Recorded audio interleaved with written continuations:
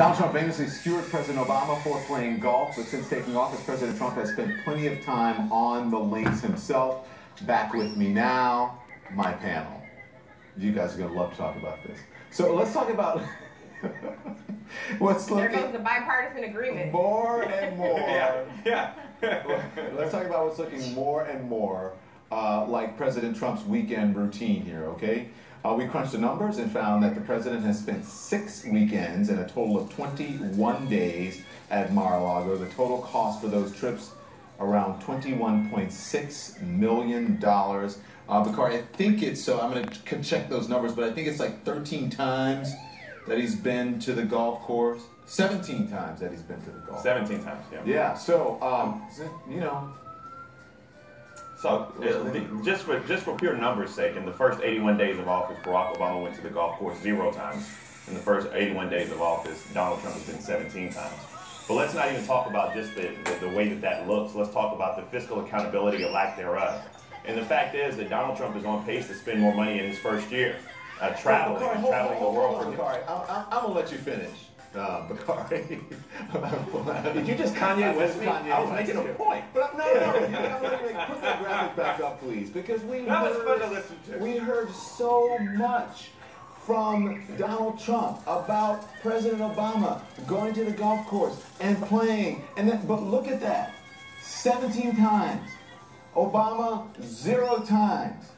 I'm just saying, people, there, if you don't see the hypocrisy in that, then you don't want to see it. You're you're you're blind. Can As a matter of can I fact, finish? let's, let's listen Can I- to him. can I Let's- accept my award? can Can I finish? Yes, you can finish. He's let's elected. listen to him, and I'll let you finish.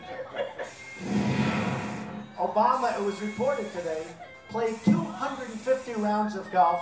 He played more golf last year than Tiger Woods. This guy plays more golf than people on the PGA Tour. Golf, golf, golf, golf. More, more. Learning how to chip, learning how to hit the drive, learning how to putt. Oh, I want more. I love golf. I think it's one of the greats, but I don't have time. I'm going to be working for you. I'm not going to have time to go play golf. I wouldn't leave the White House very much because, you know, like little things like these little trips where they get on, they cost you a fortune. If I were in the White House, I don't think I'd ever see Turnberry again. I don't think I'd ever see Doral again. I just want to stay in the White House and work my ass off, make great deals, right? Who's going to leave? Me too, Don. Same face. That's not fair.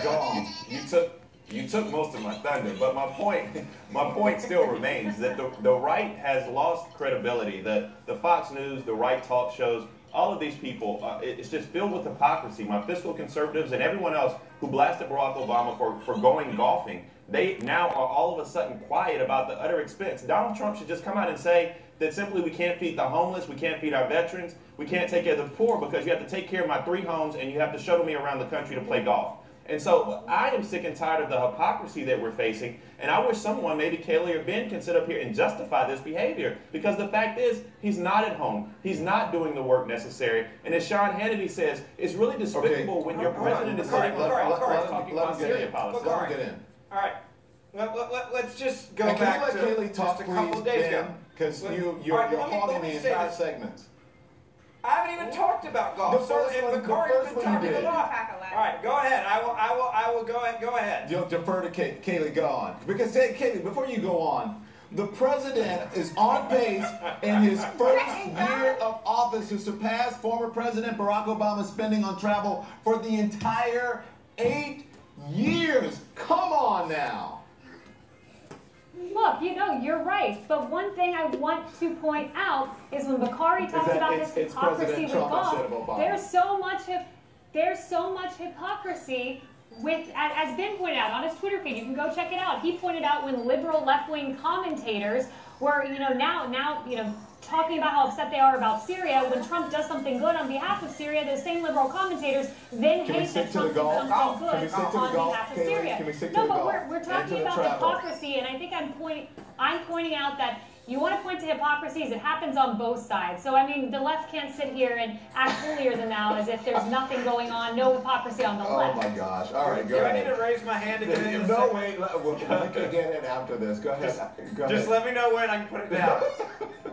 Just real quick, Ben, I'll be much quicker than you've ever been. So just really interesting point here. We are now the fiscal conservatives, Bakari. Who would have ever thunk it? We are now the party of fiscal conservatism. We're talking about 28 of 100 days. Katie, don't shake your head, girl. You know I'm right. But 28 of 100 No, days. you're not. This guy is You're on President the Adams golf to the course. Well, I don't know oh, what you thought about the Biden. golfing because you were talking about Syria. But the only point that I'm raising is a million dollars a day, really Melania. Three million dollars a three million dollars a trip, Donald Trump. We're talking about spending that cash. I mean, Shouldn't you amazing. be, Ben, shouldn't you be leading by example? If you are a conservative, a fiscal conservative, shouldn't you, your life be an example of that? Or is it, do you, is it uh, good for you to Great do as I say and No, not I as. I do? Three points here. One, what has the national debt done under the spending under this president? Has it gone up or has it gone down? Oh that's God. laughable. Can we talk That's about golf? No, there's three. about three things. And sure, I'll talk about golf. home. There's a difference between when he was in Mar-a-Lago just a couple days ago. Was he not with one of the biggest leaders in the world? And were they not spending time talking about North dollars. Korea? And were they He not can't do doing that it in while DC. they're He talking can't do about that in golf? DC. What I'm saying He is, can't do that at you Camp should David. know He this. can't do it at Let- let- Let me DC. finish. Let me let me finish my point. dollars. When you go down there and you meet and you spend quality time playing golf with a, with a world leader, there is a relationship there that's being built.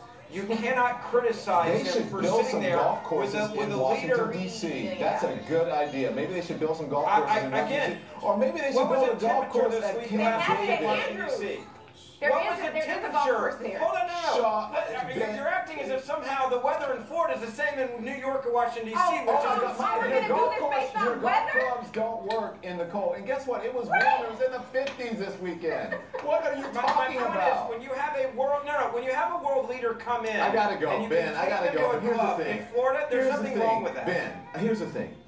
You guys come. You can. You can never criticize, or at least uh, we show the tape of, of the president being hypocritical, and you go, "Oh no, he's not being hypocritical." Don't believe me. You acknowledge just it. say you can't even acknowledge it.